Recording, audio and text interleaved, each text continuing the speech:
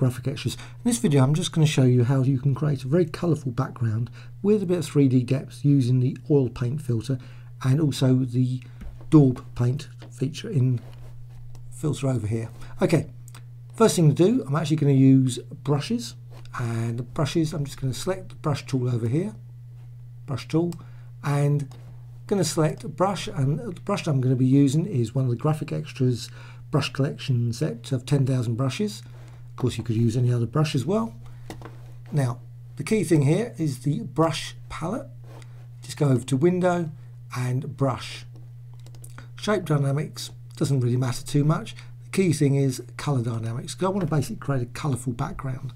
So the key thing is to set the apply per tip set all that to, doesn't really matter particularly set that, but set the purity to 0% and massively set the hue jitter to 83, whatever, 85.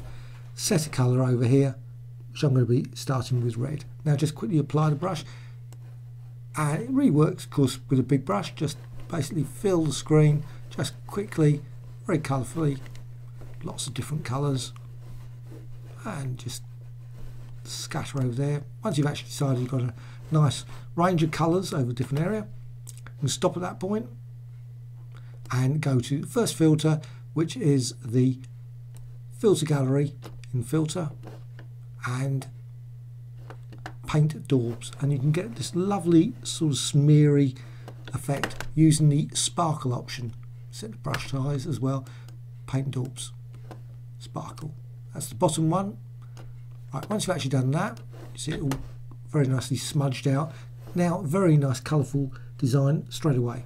Just using those brushes and just go to filter, oil paint and just set the bristle detail. Doesn't have to be so you just see some of the bristle, but set the shine so you can actually see the three-dimensional depth there. Click OK and I always find that oil paint works best like twice at least to give it a bit of three-dimensional depth. So once you've actually done that, you've actually got, I'll just move that slightly out of the way. Now, you can actually apply it multiple times, and I think that's actually probably the best way of doing it. Just go to, back to Filter Gallery again. And now you can actually see with this, you actually start to see some sort of shimmery click OK and again apply the brush oil paint option. Click OK. Go back to filter gallery.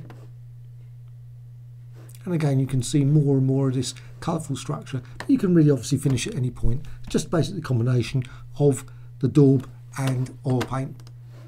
To create really unusual three-dimensional depth, colourful design. Click OK. Hope you found this tutorial